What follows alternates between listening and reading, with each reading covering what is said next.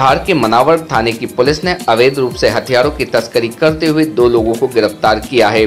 Police ने इनके पास से सात नग 0.9 एम पिस्टल, आठ नग देसी कट्टे और चार ज़िंदा कारतूस भी बरामद किए हैं। वहीं एक और मादक पदार्थ गांजा बेचने वाले आरोपी से पुलिस ने 18 किलो 500 ग्राम गांजा जिसकी अनुमानित कीमत दो लाख रुपए, आरोपी जगदीश पिता छगन जमरा बताया जाता है। कि मनावर पुलिस और क्राइम ब्रांच को बड़े दिनों से सूचना मिल रही थी कि अवैध रूप से हथियारों एवं गांजे की तस्करी की जा रही है, जिस पर पुलिस ने मुखबिर की सूचना पर एक बिना नंबर की बाइक को रोका और तलाशी ली गई तो आरोपी के कब्जे से देसी कट्टे और चार ज़िंदा कारतूस बरामद किए गए।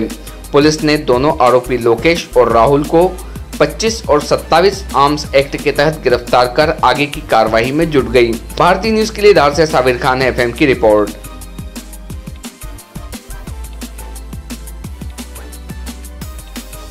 आज धार पुलिस ने दो मामले का खुलासा यहाँ दो मामले का खुलासा है। इसमें मनावर पुलिस की दो अच्छी हैं। पहली कार्रवाई में चौकी की उसने दो आरोपियों को कल पकड़ा। मोटरसाइकिल समेत जब उनकी चेकिंग की गई तो उनके पास से सात पिस्टल और आठ बारह बोटे कट्टे मिले हैं और पाँच ज़िंदा कारतूस मिले हैं।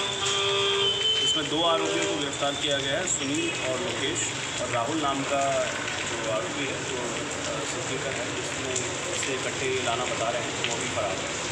दूसरा मामला अवैध नारकोटिक्स से जुड़ा हुआ मामला है, जिसमें मनावर पुलिस ने करीब 18 किलो 500 ग्राम गांजा रिकवर किया है और अपने खेत पर कपास में छुपा कर लगाने वाले जो आरोपी है उसको अरेस्ट किया